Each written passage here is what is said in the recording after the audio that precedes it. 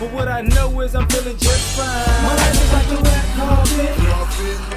And I'm feeling like the richest millionaire. This is my local mayor. And I'm the biggest star around here. I'm tired, man. What's happening, fam? LAR movement still moving. Subscribe or die trying. You see the thumbnail, man. You might get the daddy experience later. So, I was running errands today, you know, and I'm listening to the radio as it comes on. And I, I really do hate this narrative where people go, well, you know, your, your everybody's dad magically was a no was was a no good son of a gun, right? And you know he would never do anything and do this or do that, and he never cared. He never loved you. He abandoned you. He left you. You know.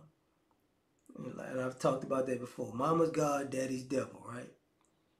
And unfortunately, it creates a, a arrogant space in children where you know children you know they think they're you know because their interactions with dad not now you're a child thinking you're grown and but it's and you might be a teenager or adult before you figure out that you're you're in the wrong. You might want to be in a parent when you figure out you're in the wrong. And um you might have that daddy experience later. Because what ha- because I think we don't we, we don't talk about enough the guilt and the shame of being a kid that disrespected and disliked their, their father off of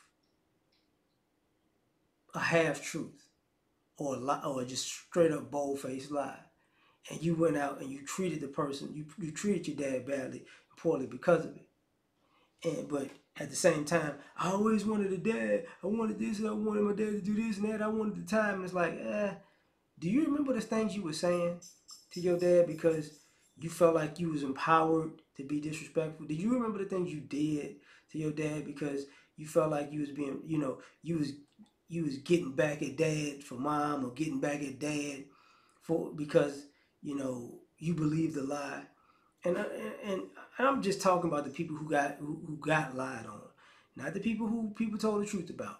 Specifically, the people who got lied on, right? And then you come to the realization, I don't know, 15, 20, 25, 35, that you wind up in a situation where now you, you you're like, I was a jerk. I can't. You're like, I was dead wrong and a jerk all those years. You know, I want a relationship with my dad, and it's like, you want a relationship? Well, what did you do to cultivate it? Like for all you, for all you, and that's why I'm saying I'm, I'm gonna get to the later on part because some of y'all, uh, your dad probably called you, reached out for you for years, but you didn't, you didn't respond, and then you get ass stopped, and now you feel abandoned, but you you don't count the you know, 5, 10, 15 years, your dad was constantly reaching out for you and you you constantly had a bad attitude. Yeah, I don't want it, I don't want it, I don't want it. Then the person's like, okay, you don't want it. And then they, then you gotta you said you got abandoned. And you have to realize you never picked up the phone and called. You never sent the card. You never called to say, hey, how you doing? You never cared. Like, you know, that person could have been sick, had ailments or whatever things went on in their life. You never cared what was going on. And and then you you wind up becoming an adult.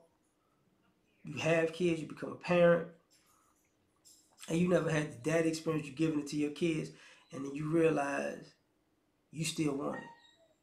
You still want those conversations. You still want that that that, approval. You still want you still want the guidance. You still want the, you know, you know, you can't help me with that stuff as a kid, but you can help me with this grown stuff now. You know, sometimes y'all might want the daddy experience because now you're the dad that's getting that's being that's having the lies told on you and the half truths told about you. And now you're reaching out to dad to get the dad experience because like I get it now, right? And then, sometimes um you know, you might get because of that, you might get it later on. You know, you might sometimes you might never get it right. But um, the other thing is, sometimes the dad might be, you know, hoping to give it to you one day, and I, you know, I've seen guys, you know, there have been men who've passed away wishing that they could still be a dad to their own kids. And the kids don't find out until the funeral. You know what I'm saying? Um, the you know, because not, not a family has to say, tell their side, that side of the story. And it's believable coming from the family because they don't have a dog in the fight, really. They do with you, but then, then again, it's like, you know, you picked the side when you didn't have to, but you felt like you did. So, you know, but you might get the experience later on and you might not. Um, and then I gotta say it this way. Um, some of y'all just want that daddy experience because it's just a part of life, you know. Uh, because you know, as I alluded to earlier, some of y'all just weren't good kids. And now you want to have a daddy experience because you want to be a better kid to your father. So you can have a daddy experience that you should have had without all the animosity. But um, I'm going to leave it at that, man. Tell me what you think. Like, share, subscribe, or die trying. Catch y'all on the next one. Uh, peace. You ever been at the top of the universe? I'm gonna take you.